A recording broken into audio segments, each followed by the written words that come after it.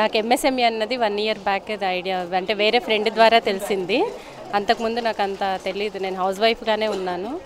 But మా పిల్లలు అంటే కొంచెం పెద్దవాళ్ళు అయ్యి కాలేజీకి అటు వచ్చిన తర్వాతనే నేను ఇది ఆలోచించి దీన్ని వచ్చాను కానీ బట్ నాకు మాత్రం చాలా యూస్ఫుల్ అయిందండి. పర్సనాలిటీ డెవలప్మెంట్ క్లాసెస్ కానీ ఇప్పుడు ఈ ప్రోడక్ట్ నేర్చుకోవటం కానీ అంత ఆలోచనతోటే వచ్చానండి. ఎందుకంటే పిల్లలు కొంచెం పెద్దవాళ్ళు అయిపోయారు. రెస్పాన్సిబిలిటీస్ అన్నది కొంచెం ఇప్పుడు వాళ్ళ నుంచి నేను బయటికి రాగల స్టేజ్లో నేను ఉన్నాను కాబట్టి చెయ్యాలి.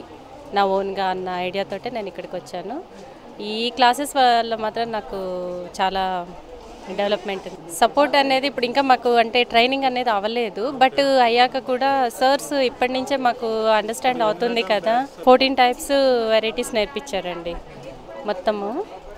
బ్యాగ్స్ అన్నీ మేము అంటే ఇక్కడ వాళ్ళు డెమో చూపెట్టారు. దాని ప్రకారం మేము ఇప్పుడు ఇక్కడ చేస్తున్నాము. ఇది ప్రాక్టీస్ అయ్యాక ఇంకా మా ఐడియా తోటి కొత్త కొత్తవి అన్నది ప్రోడక్ట్స్ వీళ్ళు బట్ హండ్రెడ్ పర్సెంట్ సపోర్ట్గా అయితే ఉన్నారండి అంటే మేము వేరే వాళ్ళని నిన్ననే విజిట్కి వెళ్ళొచ్చాము యూనిట్ విజిట్కి. వాళ్ళ ద్వారా కూడా మాకు అర్థమైంది వీళ్ళు ఫుల్ సపోర్ట్గా ఉన్నారు. ఆల్రెడీ పెట్టుకున్న వాళ్ళకి కూడా. వాళ్ళందరూ ఎంఎస్ఎంఈ స్టూడెంట్స్ వాళ్ళ దగ్గర తీసుకెళ్ళారు. వాళ్ళని చూశాక మాకు అర్థమైంది. ఇక్కడ ఈ సర్స్ ఉన్నారు.